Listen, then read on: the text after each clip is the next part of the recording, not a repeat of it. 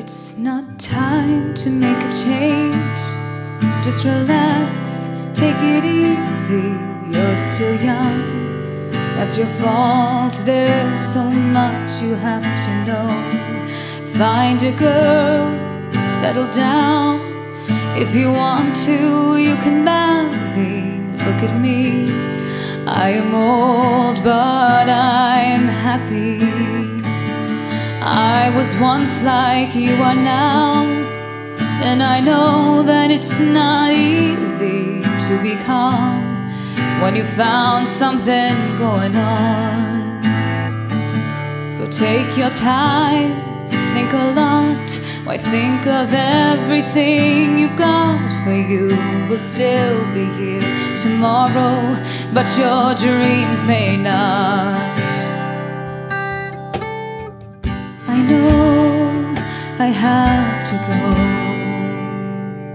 Benvenuti ad una nuova puntata di Mamma Mia.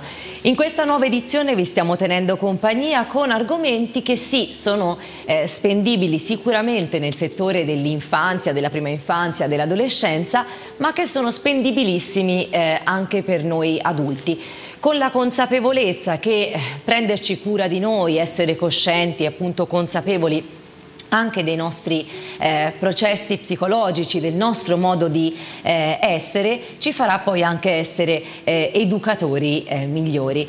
Ha mantenuto la promessa in questo appuntamento ed è tornato a trovarci per parlare di approccio del dialogo delle voci interiori il nostro caro amico affezionato a mamma mia Roberto Rospigliosi che è un pedagogista e giudice onorario al Tribunale dei Minori. Bentornato. Sei tornato per parlarci dell'approccio, del dialogo delle voci interiori. Ora voglio proprio vedere che cosa ci racconterai.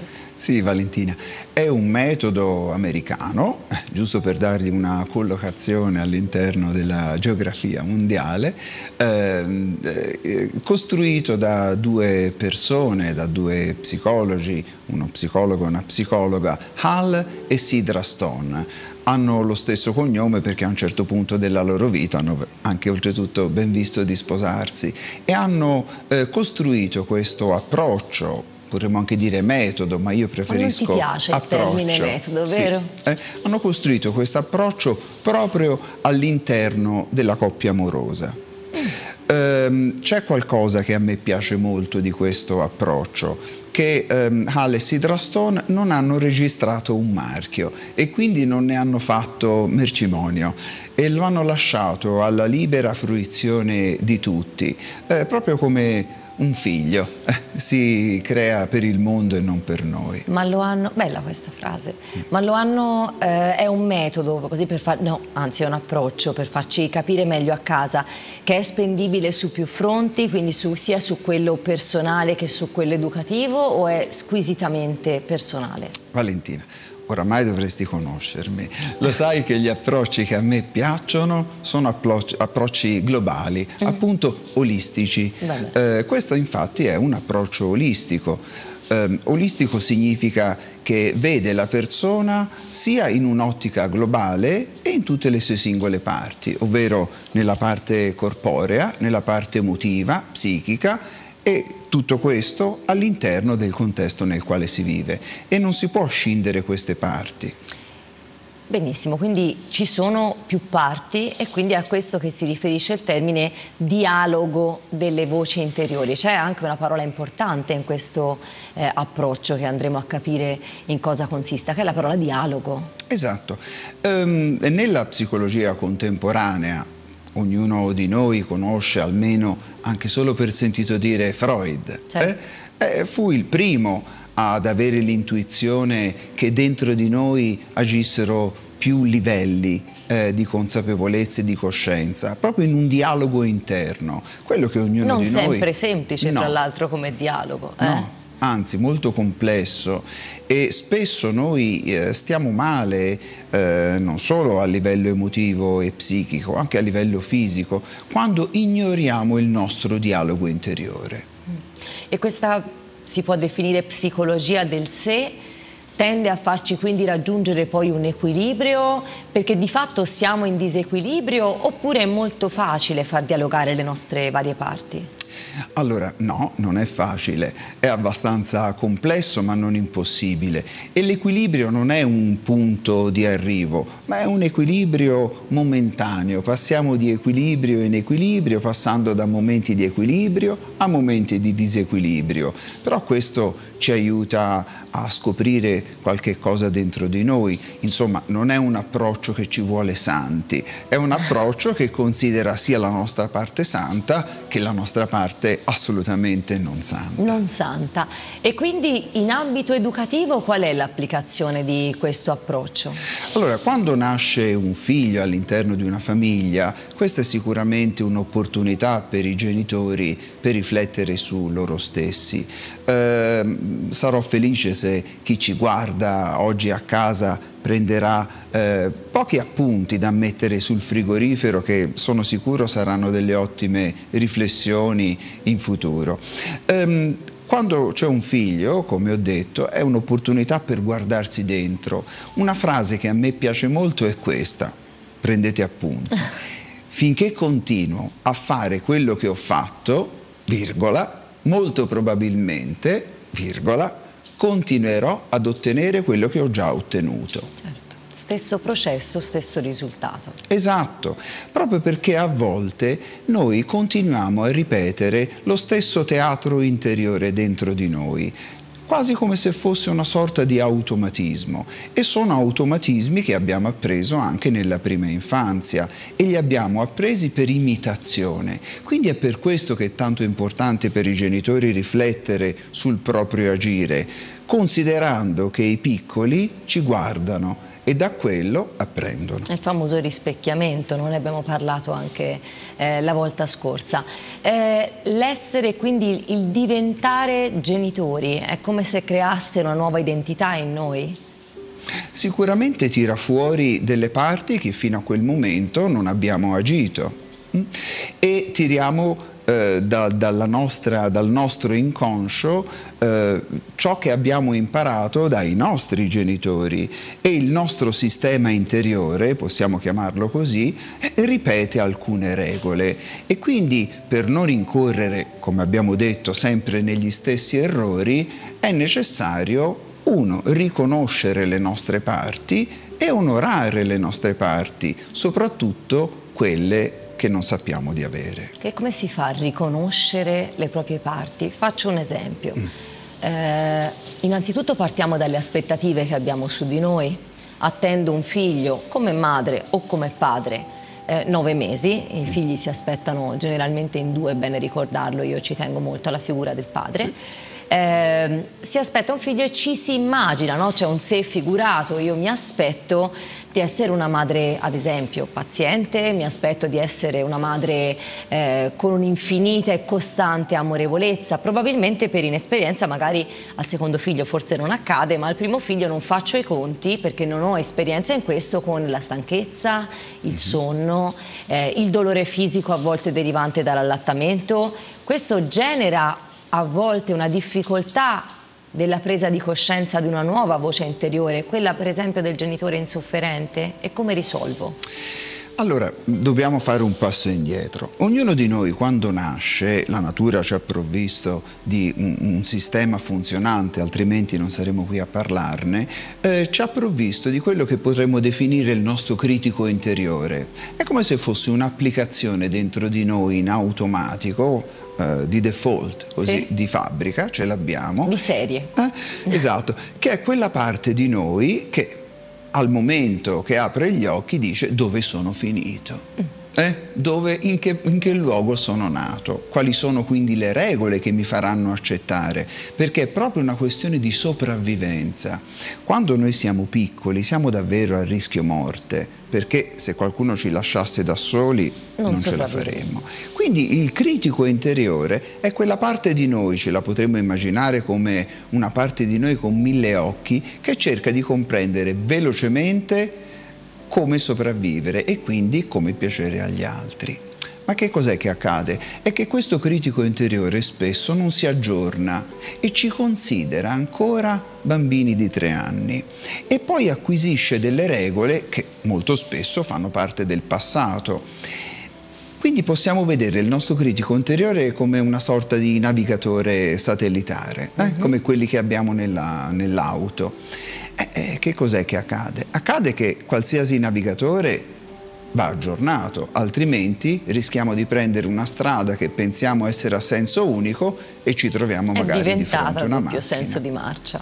Okay? Quindi riconoscere che c'è una parte di noi che ha una certa rigidità, ma è una rigidità utile se non cadiamo nell'eccesso.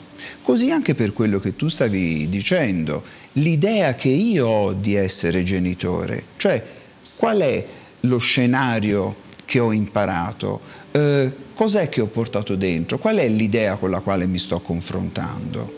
È attuale? Quindi devo sostanzialmente prendere atto dei nuovi me. Correggimi se, se sbaglio, ho afferrato. Certamente. Ne prendo atto e ci scendo a compromessi rivedendo i miei schemi abituali, quelli della famosa comfort zone, eh, in cui ho sempre sguazzato magari per, per tutta la mia vita. Stiamo cercando di dare, Roberto, eh, in questi nostri appuntamenti insieme, poi è l'anima di questa trasmissione, degli spunti e dei consigli anche per imparare a essere genitori, anche perché non è che con la nascita di un figlio, proprio quell'evento in sé, si diventi genitori, non si smette mai. Genitori e educatori, si parla in senso lato, è una continua scoperta, un continuo aggiornamento, non esiste veramente il, il manuale delle istruzioni e noi non siamo sempre gli stessi, voglio dire anche questo, noi cambiamo. Eh, Icaro TV, eh, collaborando con noi, ci ha mandato un bellissimo servizio proprio eh, riguardo a questo, perché eh, soprattutto però i primissimi giorni in cui genitori lo diventiamo possono essere eh, veramente difficili. Il Centro per le Famiglie di Rimini ha creato un servizio per le famiglie che le accompagna nei primi mille giorni, addirittura implementando ora di recente anche un servizio di home visiting, quindi vanno anche direttamente a casa a offrire supporto a quelle famiglie che abbiano bisogno di indicazioni in questa faticosa strada impervia del diventare genitori. Andiamola a vedere e poi torniamo in studio.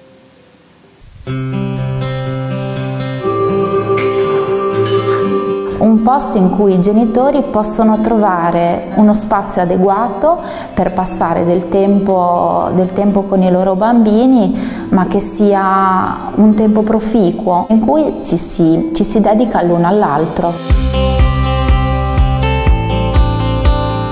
Benvenuti al Centro per le Famiglie del Comune di Rimini che offre interventi di sostegno alla genitorialità. In particolare l'ottica è quella proprio di affiancare i genitori nello scoprire le loro risorse e nel prendersi cura delle relazioni e dei legami eh, familiari e anche comunitari.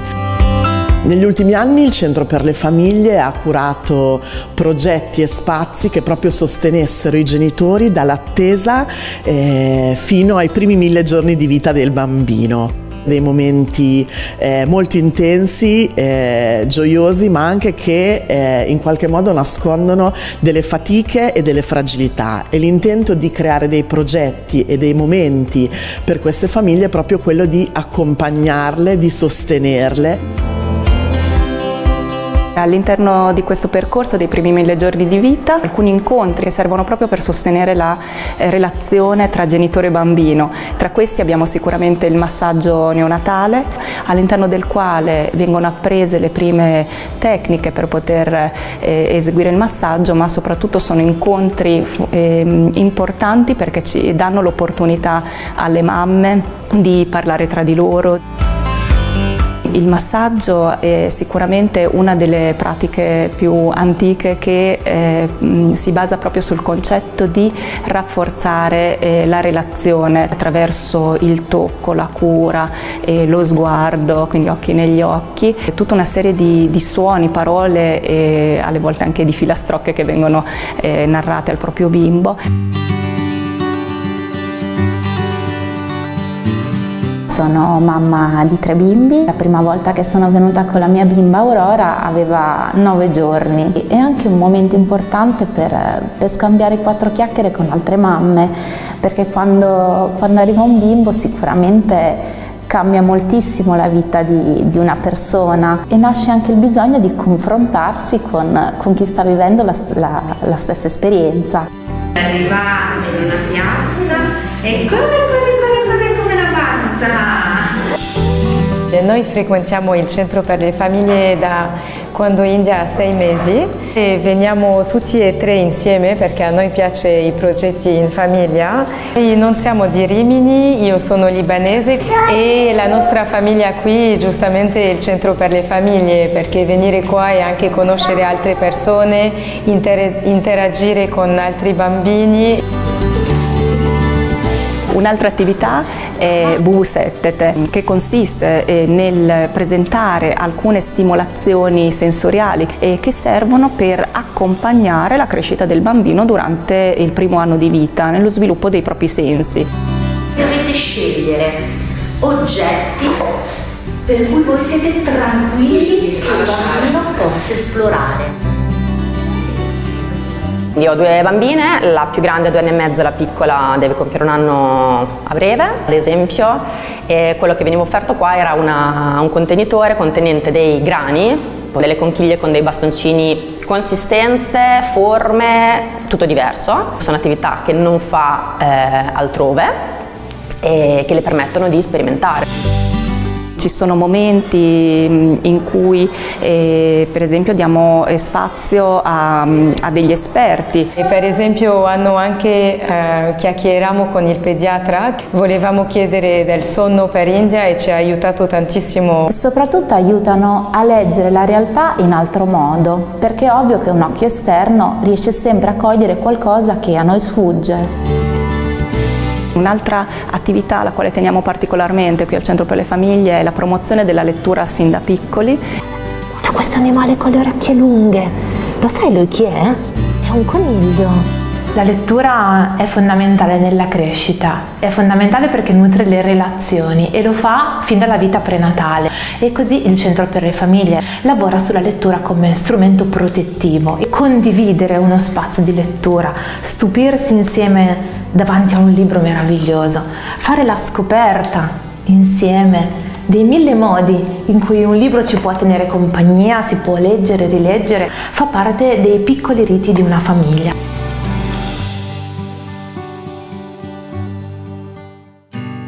Ringraziamo Icaro TV e tutti coloro che eh, anche a livello locale, non solo televisivo come facciamo noi, si prendono cura eh, dell'istruzione, della formazione, diciamo così, eh, dei genitori eh, in divenire. Continuiamo fra poco a parlare dell'approccio, del dialogo, delle voci interiori con Roberto Rospigliosi, però lo facciamo fra un poco, dopo la pubblicità.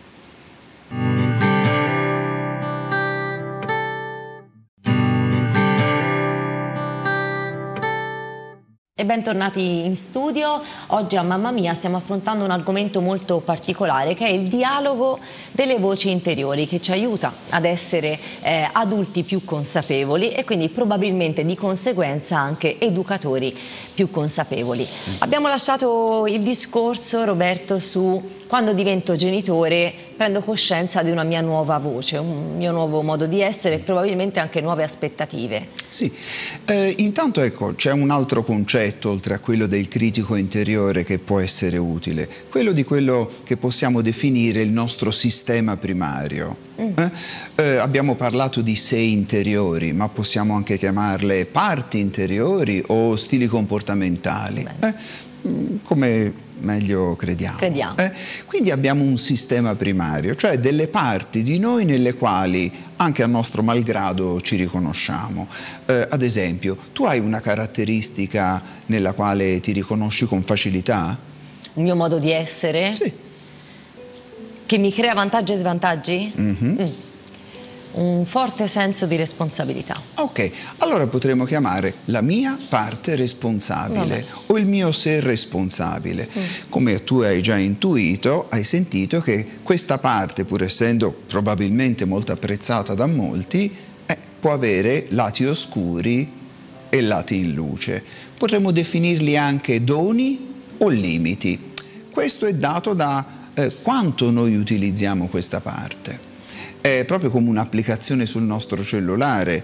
Eh, quando andiamo a guardare le statistiche di utilizzo delle applicazioni, vediamo qual è l'applicazione che utilizziamo di più. Ecco, all'interno del nostro sistema interiore è più produttivo riuscire a mantenere un equilibrio. Ad esempio, in questo caso, se la mia parte in luce, cioè la mia parte del sistema primario e la mia parte responsabile, probabilmente nel, in retroguardia e dietro le quinte c'è la parte invece irresponsabile, che anche quella però ha doni e limiti. Vabbè, il limite della nostra parte irresponsabile lo conosciamo. È, è, quella che non crea connessione con gli altri, è quella che non crea un rapporto di fiducia. Ma la nostra parte irresponsabile ha anche dei doni, è creativa, è impulsiva, ci fa seguire l'intuizione. È più umana a volte. È umana. È più squisitamente quindi, umana. Esatto, quindi non significa ovviamente di, eh, chiederti di diventare responsabile, ma significa utilizzare, in questo caso funziona, una dose omeopatica della nostra parte irresponsabile, ma in maniera consapevole. Come ti ho detto, riconoscerla e onorarla. Ecco, tu hai usato anche prima questi due due verbi, quindi riconoscere le varie parti di noi mhm. -huh. e onorarle, eh? quindi renderle giustizia e non viverla in maniera negativa, in accezione negativa, ho capito bene? Anzi, prendersi degli appuntamenti in agenda, perché eh, tanti approcci sono molto mentali e è bellissimo anche dare onore e spazio alla nostra parte mentale, ma è necessario anche essere molto pratici e quindi dire in quale momento della mia vita o in quale relazione io avrei il bisogno di mettere in moto la mia parte irresponsabile? Mm. Ad esempio, nel fine settimana la parte irresponsabile potrebbe essere utile. Andrà contenuta, ecco, eh? vedi che subito ti risponde la mia parte responsabile, andrà contenuta. Esatto, eh. quindi c'è un dialogo tra la mia parte responsabile che vorrebbe fare alcune cose, la mia parte responsabile che è abituata e sostenuta dal mio critico interiore a comportarsi sempre nello stesso modo, ma questo immaginami qui tirato da queste due parti, questo mi genera un vero e proprio disequilibrio che in certe circostanze ci fa proprio cadere. Ecco. E tu che sei un pedagogista, in termini educativi, questo come lo posso utilizzare? Questo approccio che abbiamo capito sull'adulto come dovrebbe funzionare o da soli con questi trucchi no? del dar, dare appuntamento alle nostre varie voci dedicando loro del tempo, ma a livello educativo eh, parlavamo prima di entrare in puntata, mi facevi un esempio per esempio di una bambina che tira un calcio a un altro bambino. Anche in questo caso questo approccio è utilizzabile. Se lo vuoi raccontare a casa lo trovo molto interessante. Certamente. Allora, se noi immaginiamo no, questa tensione dentro di noi, più immaginiamo questa tensione dentro di noi, più rinforziamo un centro che potremmo definire un ego consapevole, mm. un io strutturato. Però questo io strutturato ha bisogno di tempo, tutta, eh, tutta l'adolescenza, eh, fino ad arrivare all'adolescenza, a volte anche Quindi oltre. non si è consapevoli da piccoli del dialogo delle voci interiori? No, anzi, si è completamente immersi in questi sé. Ad esempio, l'esempio della bambina che può agire un atteggiamento ecco, aggressivo. Ecco, descriviamo la situazione. Ecco. Immaginiamo che la piccola Valentina dà un calcio al piccolo Roberto e gli insegnanti spesso si scagliano tutti contro la piccola Valentina dicendole di non fare questo, di non fare quest'altro, che ha sbagliato. E intanto questo è assolutamente poco produttivo perché ci siamo dimenticati del povero Roberto che si è preso un calcio. Quindi in questo caso è più utile concentrarsi sul povero Roberto che si è preso un calcio e isolare per un attimo la, la, piccola Valentina, anzi proprio per non dare luce a quel comportamento. Ecco, questa è la chiave interessante. Quando siamo piccoli non abbiamo una struttura etica o morale, siamo immorali quando siamo piccoli. E quindi io ho l'esigenza di essere visto, ci ricordiamo, no? Che è un nostro bisogno primario. Il bisogno primario, il riconoscimento sociale. Quindi eh? se la piccola Valentina viene riconosciuta nel suo essere aggressiva, anzi gli viene detto di non essere in questo modo, a lei poco importa, si sente vista. E quindi quello sguardo e tutta quella luce fanno sì che il suo piccolo critico interiore prenda un taccuino e dica ah, questo comportamento mi fa vedere. Gli altri mi notano. Gli altri eh? mi notano. Prendono nota di chi sono. Questo è applicabile quindi anche per i più grandi. Esempio, eh, in una classe facciamo di scuola primaria il, un alunno ne deride un altro e l'altro in lacrime va dall'insegnante a riferire l'accaduto. È storia quotidiana insomma da, da che esiste la, la scuola. È meglio quindi, secondo questa educazione al dialogo delle voci interiori, quindi fare un, magari una, passatemelo, ramanzina generalizzata al gruppo classe anziché davanti agli altri rimproverare il bambino che ha deriso il compagno? Guarda, su questo mi fai riflettere a quella che è la giustizia riparativa, oggi se ne sta parlando, cioè chiedere alla vittima di che cosa ha necessità. Perché magari io non ho bisogno eh, che l'insegnante racconti ciò che mi è successo a tutta la classe nell'idea magari di umiliare il, chi si è comportato male, che magari non ha neanche la piena consapevolezza del suo comportamento. Quindi la prima cosa che è da fare è connettersi alla persona che ha subito una violenza, un atto di aggressività e chiedere a quella persona di che cos'è che hai bisogno, cosa posso fare per te. Ma in termini educativi così lascio scoperta sto facendo l'avvocato del diavolo, mm -hmm. lascio scoperta la parte di educazione dello studente che magari, studente o ragazzo, ora sto parlando di un contesto classe ma può succedere ovviamente anche al parco, del certo. bambino che ha messo in pratica un comportamento, quindi non un bambino che è ho capito che se no poi mi rimproveri, ma sono d'accordo con te. Non è un bambino scorretto con l'altro che non rispetta l'altro, si è comportato in maniera non corretta, non posso comunque non intervenire, se no non imparerà mai. Certo, sono davvero d'accordo su, su, questa eh, puntualizzazione. Intanto è importante scindere la persona dal proprio comportamento. Infatti un principio del voice dialogue è questa. Io sono ok così come sono, tu sei ok così come sei. Cioè il valore che tu hai rimane intoccabile io sono ok così come sono. Beh, ciò che faccio magari su quello possiamo discuterne. E in questo caso specifico, eh, eh, che non è un caso specifico, è un caso generale, quindi dobbiamo sapere cos'è che la vittima sente giustizia per sé in quel momento e poi agire di conseguenza, magari trovare un momento di mediazione fra queste due persone o magari prendere la persona successivamente che si è comportata in modo sbagliato aiutarla a comprendere che cosa ha fatto e magari farla diventare direttamente la parte attrice principale che spiegherà agli altri qual è il giusto comportamento. Questo mi sembra, quindi diciamo che in termini educativi intanto possiamo, per mettere un punto da mettere sul famoso frigorifero, riassumere col fatto di scindere il comportamento o una parte eh, del, del, comportamento, del modo di essere uh mhm. -huh. del nostro figlio, del nostro studente, che non è andata proprio a genio in termini di socialità, dal, dalla considerazione che noi abbiamo di lui come persona. Ecco, quindi questo mi confermi che potrebbe essere. E torneremo fra poco su questo.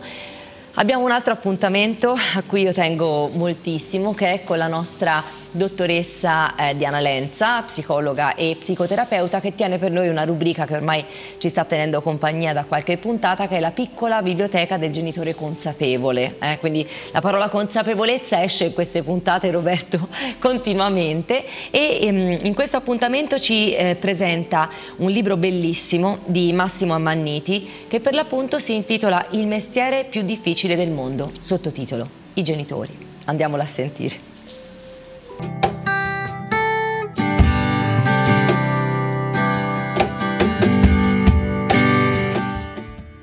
Bentrovati a tutti. Siamo di nuovo qui alla piccola biblioteca del genitore consapevole. Oggi vi voglio proporre un testo che eh, è molto semplice, è scritto benissimo ed è scritto da uno dei più importanti neuropsichiatri infantili italiani, Massimo Ammanniti. Il libro si intitola Il mestiere più difficile del mondo, i genitori.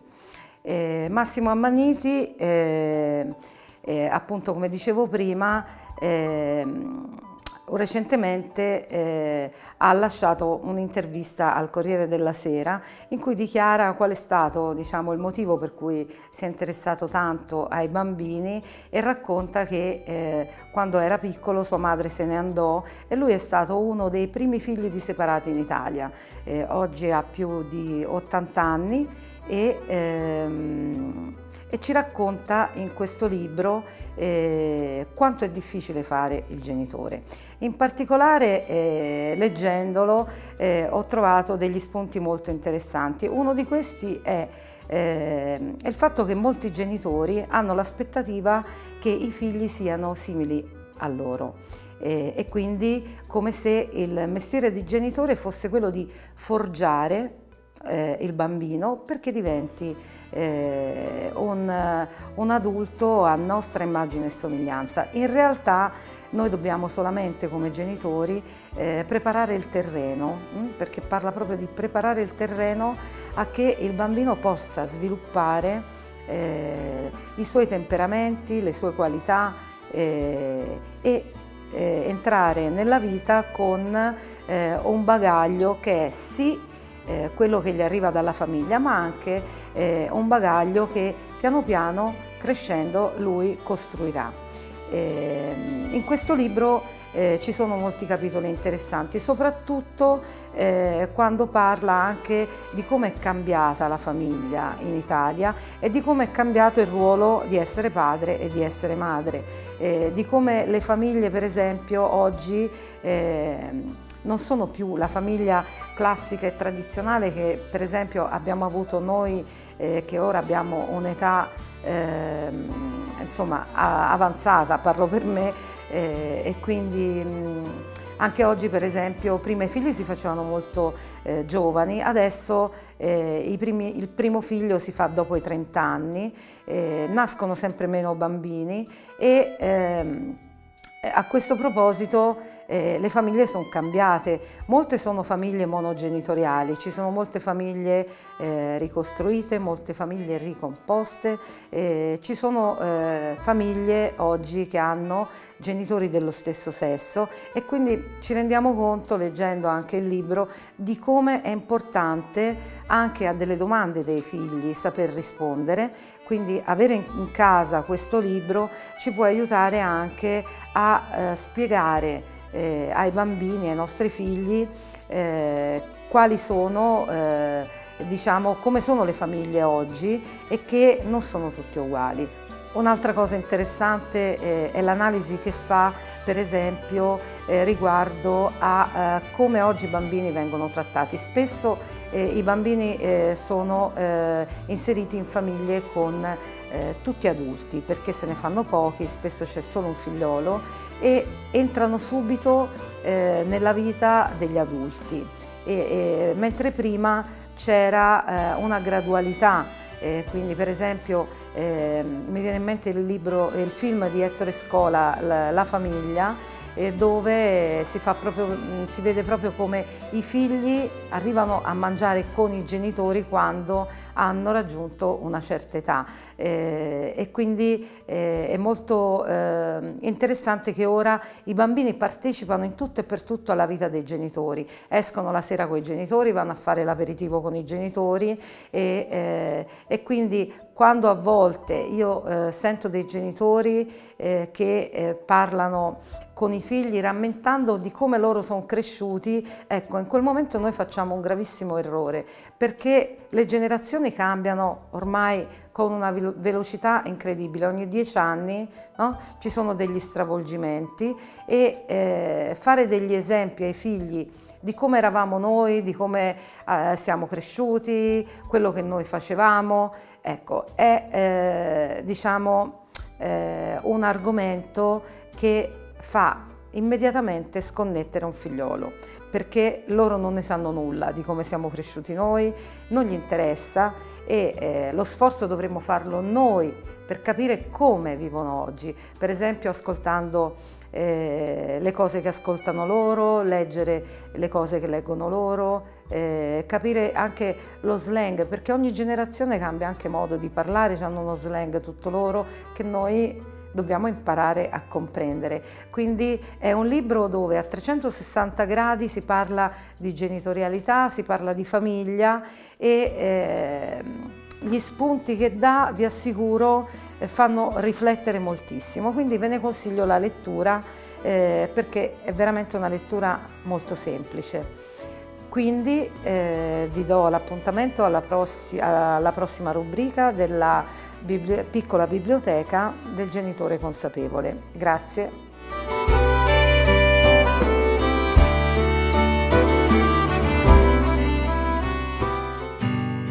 E ringraziamo la nostra carissima dottoressa Lenza per i suoi preziosi consigli. Eh, mi costa un sacco di soldi questa dottoressa Lenza, Roberto. Devo comprare tutti i libri che ci consiglia, ma sono veramente belle letture. Allora, eh, tiriamo un po' le fila del discorso, cerchiamo di dare anche consigli operativi per eh, l'applicazione di questo approccio del dialogo delle voci interiori sia nel nostro essere famiglia, quindi per esempio anche compagni di vita, perché no, che nell'essere genitori e educatori. Credo che sia un approccio che si applica a vari ambiti, da quello didattico, familiare, relazionale, di coppia, amicale. Eh? Eh, C'è una frase che, che, che, che, prendo da Nanni Moretti quando urla le parole sono importanti. Eh. Io lo ripeto e lo ripeto, le parole sono davvero importanti e le parole sono fatti.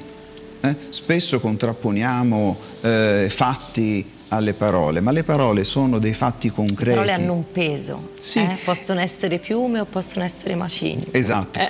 e, e, le parole modificano anche la nostra struttura interiore, modificano anche proprio le nostre sinapsi interiori tra i nostri neuroni. Cioè la definizione condiziona la sostanza. Certo, e condiziona anche la relazione. Certo. Ad esempio, se io eh, ti, ti dicessi io sono arrabbiato con te, tu immagino che sentiresti, magari in una discussione, eh, un'onda totale che ti immergerebbe. Di sentiresti rifiuto completo. Un rifiuto totale, un rifiuto completo.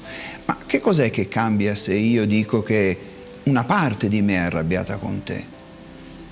Si può recuperare. Mm. La, la, la sensazione che arriva all'ascoltatore è che in qualche modo possiamo parlarne. Così, che, così come se parlo a me stesso e dico io sono stupido Mm. Questo creerebbe intanto dentro di me una ferita, ma cambia se io riconosco che io sono anche stupido. Dentro di me c'è una parte stupida che mi è utilissima per andare a cantare con i miei amici. Okay. Serve a tutti. Quindi il, il, consiglio eh, che mi piacerà dare in questo momto, e vi ricordo sempre di scriverlo sul frigorifero. Ma proprio col pennarello indelebile, eh, esatto. non col bigliettino, proprio col pennarello. Scrivere questa frase, una parte di me, puntini puntini, in modo da ricordarsi costantemente che non sono io, ma sono tante parti di me che agiscono nello stesso momento e tutte le parti di me, anche quelle più scure, hanno un dono da offrirmi. E a seconda della circostanza e a seconda del momento che stiamo vivendo, decidere quale parte di noi utilizzare.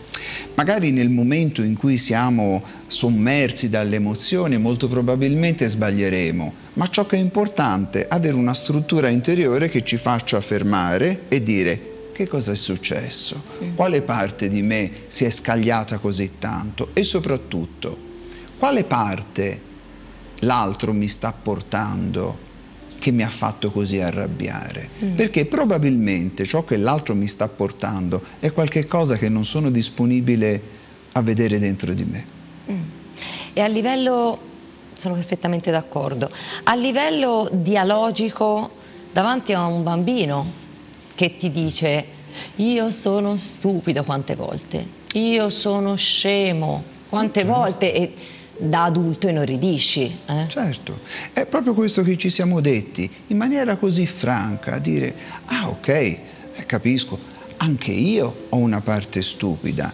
In questo momento cosa ha fatto la tua parte stupida? Cioè permettere al bambino di fare quello che si potrebbe definire uno stretching emotivo, cioè imparare a non identificarsi così profondamente in un pensiero, ma sentire che io ho un pensiero. Facciamo questo esempio.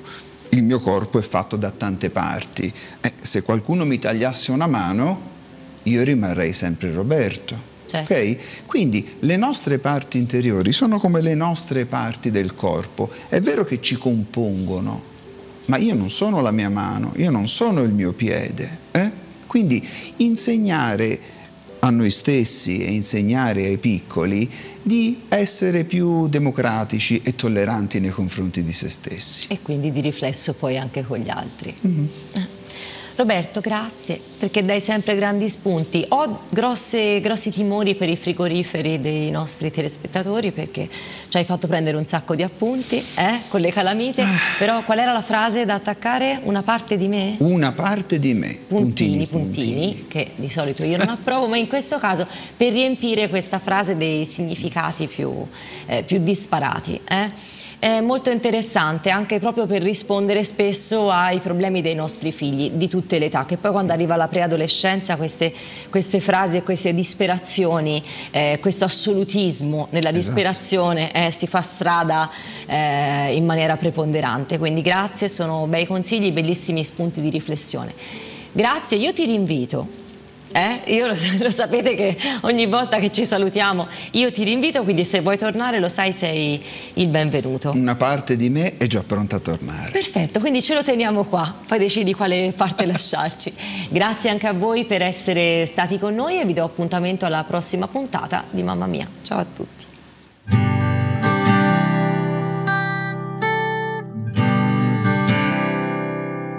It's not time to make a change Just relax, take it easy.